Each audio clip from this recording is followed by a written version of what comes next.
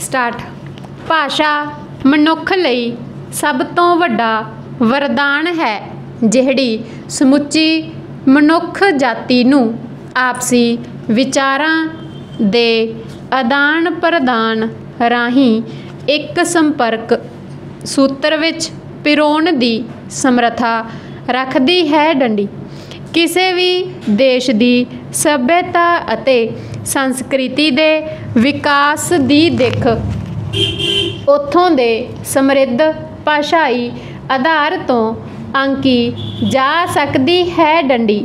ਇਹ ਇੱਕ ਠੋਸ ਹਕੀਕਤ ਹੈ ਕਿ ਮਨੁੱਖ ਆਪਣੇ ਮਨ ਦੀ ਗੱਲ ਜਿੰਨੀ ਚੰਗੀ ਤਰ੍ਹਾਂ ਆਪਣੀ ਮਾਤ ਭਾਸ਼ਾ ਵਿੱਚ ਕਹਿ ਸਕਦਾ ਹੈ, ਉਹ ਕਿਸੇ ਹੋਰ ਭਾਸ਼ਾ ਵਿੱਚ ਪ੍ਰਗਟ ਨਹੀਂ ਕਰ ਸਕਦਾ, ਡੰਡੀ।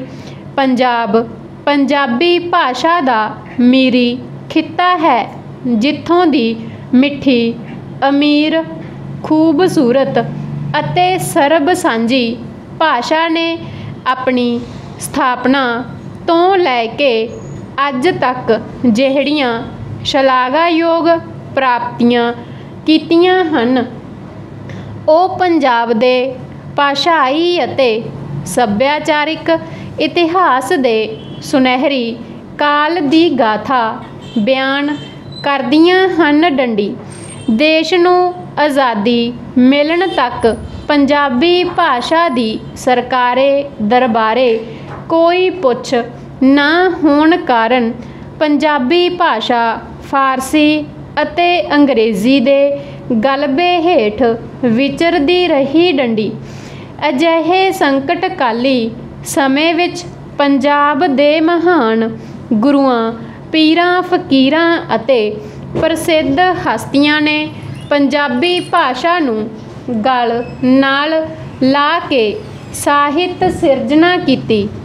ਇਹ ਸਮਾਂ ਸਾਹਿਤ ਦੇ ਇਤਿਹਾਸ ਵਿੱਚ ਸੁਨਹਿਰੀ ਕਾਲ ਵਜੋਂ ਜਾਣਿਆ ਜਾਂਦਾ ਹੈ ਡੰਡੀ।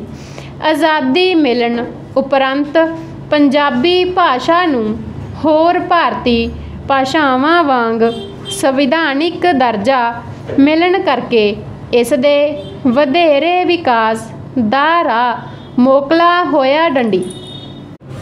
ਪੰਜਾਬ ਸਰਕਾਰ ਵੱਲੋਂ ਪੰਜਾਬੀ ਭਾਸ਼ਾ ਨੂੰ ਵਿਕਸਿਤ ਅਤੇ ਹਰ ਤਰ੍ਹਾਂ ਨਾਲ ਸਮਰਿੱਧ ਬਣਾਉਣ ਲਈ ਕੋਈ ਕਸਰ ਬਾਕੀ ਨਹੀਂ ਛੱਡੀ ਜਾ ਰਹੀ ਡੰਡੀ। ਪੰਜਾਬ ਸਰਕਾਰ ਵੱਲੋਂ ਭਾਸ਼ਾ ਵਿਭਾਗ ਪੰਜਾਬ ਦੇ ਨਾਂ ਉੱਤੇ ਇੱਕ ਵੱਖਰਾ ਵਿਭਾਗ ਪਹਿਲਾਂ ਹੀ ਕਾਇਮ ਕੀਤਾ ਹੋਇਆ ਹੈ, ਜਿਹੜਾ ਪੰਜਾਬੀ ਭਾਸ਼ਾ ਦੀ ਵਿਉਂਤਬੱਧ ਤਰੱਕੀ ਦੇ ਨਾਲ-ਨਾਲ ਹਿੰਦੀ, ਸੰਸਕ੍ਰਿਤੀ ਅਤੇ ਉਰਦੂ ਭਾਸ਼ਾਵਾਂ ਦੀ ਤਰੱਕੀ ਲਈ ਸਮਾਨ ਰੂਪ ਵਿੱਚ ਪ੍ਰਯਤਨਸ਼ੀਲ ਹੈ ਡੰਡੀ। ਇਹੀ ਕਾਰਨ ਹੈ ਕਿ ਅੱਜ ਪੰਜਾਬੀ ਭਾਸ਼ਾ ਨੇ ਵਿਕਾਸ ਦੀਆਂ ਅਸੀਮ ਸਿਖਰਾਂ ਨੂੰ ਸੋਹਿਆ ਹੈ ਡੰਡੀ। ਭਾਸ਼ਾ ਵਿਭਾਗ ਪੰਜਾਬ ਸਮੁੱਚੇ ਉੱਤਰੀ ਭਾਰਤ ਵਿੱਚ ਇੱਕੋ ਇੱਕ ਅਜਿਹਾ ਸਰਕਾਰੀ ਮਹਿਕਮਾ ਹੈ ਜਿਹੜਾ ਮਾਤ ਭਾਸ਼ਾ ਦੇ ਪ੍ਰਚਾਰ, ਪ੍ਰਸਾਰ ਲਈ ਪੂਰੀ ਤਰ੍ਹਾਂ ਸਮਰਪਿਤ ਹੈ ਡੰਡੀ। ਵਿਭਾਗ ਵੱਲੋਂ ਮਾਤ ਭਾਸ਼ਾ ਪੰਜਾਬੀ ਦੇ ਨਾਲ-ਨਾਲ ਰਾਸ਼ਟਰੀ ਭਾਸ਼ਾ ਹਿੰਦੀ, ਉੱਤਰੀ ਭਾਰਤ ਦੀ ਹਰਦਿਲ ਅਜੀਜ਼ ਭਾਸ਼ਾ ਉਰਦੂ ਅਤੇ ਸਾਰੀਆਂ ਭਾਸ਼ਾਵਾਂ ਦੀ ਜਨਨੀ ਸੰਸਕ੍ਰਿਤ ਭਾਸ਼ਾ ਦੇ ਵਿਕਾਸ ਨੂੰ ਯੋਜਨਾਬੱਧ ਢੰਗ ਨਾਲ ਨਿਰੰਤਰ ਜਾਰੀ ਰੱਖਣ ਲਈ ਕਈ ਸਕੀਮਾਂ ਉੱਤੇ ਅਮਲ ਕੀਤਾ ਜਾ ਰਿਹਾ ਹੈ ਡੰਡੀ।